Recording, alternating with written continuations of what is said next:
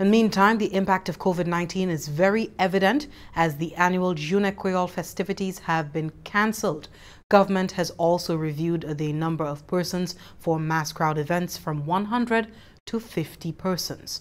Prime Minister Honorable Allen Chastanet spoke to the issue in a Facebook post on Friday. This morning we got the sad news that we had six additional cases, um, all in one family. But the good news is that the CMO and her contact tracing team have done an outstanding job, and all of these persons were already in quarantine, very much like most of the recent cases that we've had.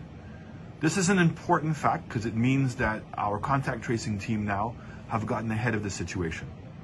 But the truth is, is that we do have a community spread, and it is going to require us to continue to practice proper protocols. Wear your face mask, continue to practice social distancing, and make sure you're hand sanitizing at all times. Now, this is very important because we're coming up to Jounen Kweyol.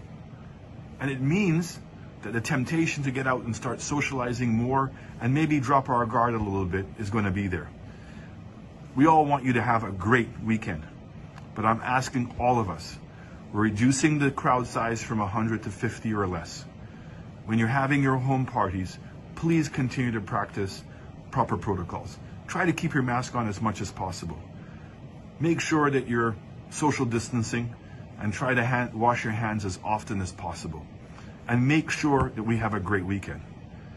St. Lucia, we have a fight on our hands, but we can win this fight. We've shown that we can do it and we can do it again.